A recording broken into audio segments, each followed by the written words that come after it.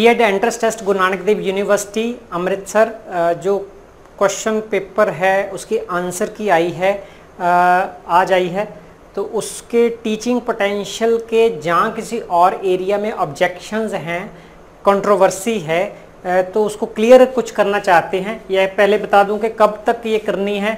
Last date for submission of objection for answer key through email only at P B B E Ed admissions दो zero दो तीन at G N D U dot A C dot in through email आप ये objection कर सकते हो।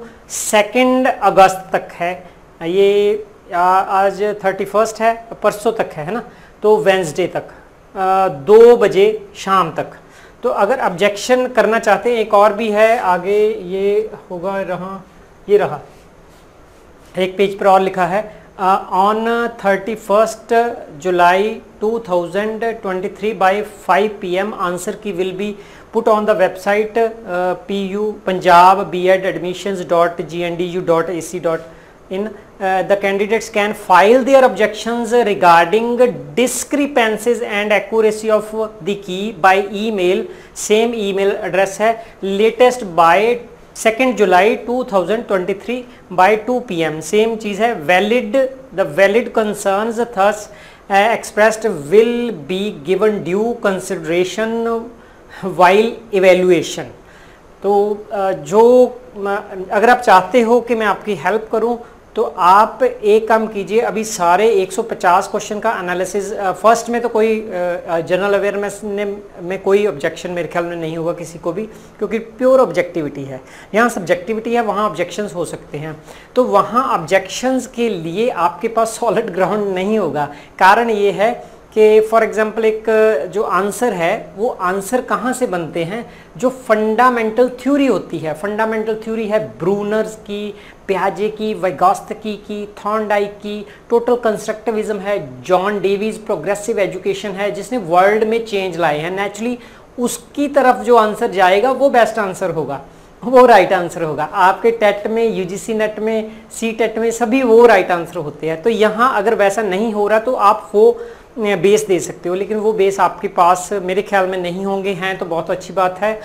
तो मैं अगर आप चाहते हो तो फिर मैं जो क्वेश्चन ऑब्जेक्शनेबल है, जो कंट्रोवर्शियल है या उनके लिए क्लैरिटी चाहिए, या कैसे बेस दिया जा सकता है कि ये, इन पर हमें ऑब्जेक्शन है तो आप काइंडली मुझे उस एमसीक्यू की नंबर नहीं, क्योंकि set A B C D हैं।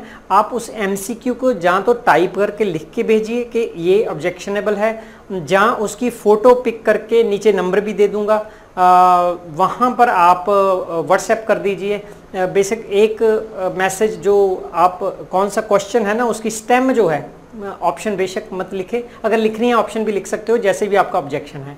तो वो लिखें। अगर आप पेज पर, अगर आपका जो जहाँ पर क्वेश्चन प्रिंटेड है आंसर बुकलेट है आपके पास सॉरी क्वेश्चन बुकलेट है तो वहाँ पर आप ऑब्जेक्शन अपना लिख के स्लिप पर वैसे भी पिक करके भेज सकते हो। मुझे पता लगना चाहिए इस क्वेश्चन पे आप फोकस कर रहे हो। अदरवाइज़ जो 100 के करीब या 50 के करीब इतने क्वेश्चन को एनालाइज करके उसका डाटा कलेक्ट करके जो एविडेंस कलेक्ट करके प्रेजेंट करने के लिए टाइम लग जाएगा। दो बज जाएँगे परसों दो तरीके दो बज जाएँगे। सो so, मुझे तो पता ही है जो जिन क्वेश्चन पर है, पर आप अगर चाहते हो तो अगर नहीं चाहते इट्स ओके देन प्रोसीड अगर चाहते हो तो फिर मुझे वो आप क्वेश्चन भेज दीजिए। मैं हर क्वेश्चन पर एविडेंस आपको प्रोवाइड कर दूँगा अपना पर्सपेक्टिव दे दूँगा। ये कोई युद्ध नहीं है।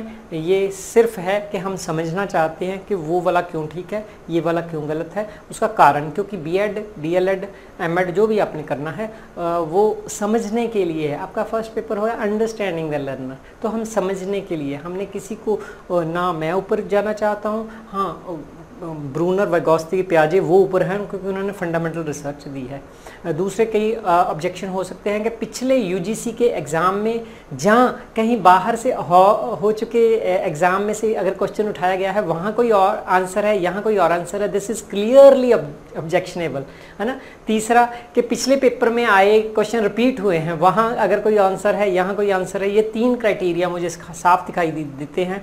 अदरवाइज़ सीधा बुक में से कि ये राइट है ये रॉन्ग है ये आपने नहीं आइडेंटिफाई कर पाओगे। अगर आप चाहते हो तो आप आ, मुझे वो सेंड कर दीजिए। मैं कोशिश करूँगा टाइमली कल तक आपको ए, जो एविडेंस है जो एनालिसिस है करके राइट रॉन्ग क्या हो सकता है क्या प्रोबेबिलिटी है तो वो बता दूँगा। Thank you doctor Singh